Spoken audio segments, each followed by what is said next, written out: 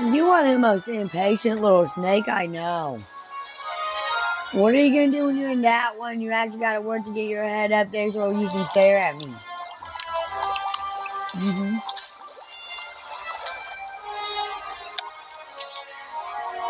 Yeah, he's still in the same spot, just standing at me like, where's my food, baby?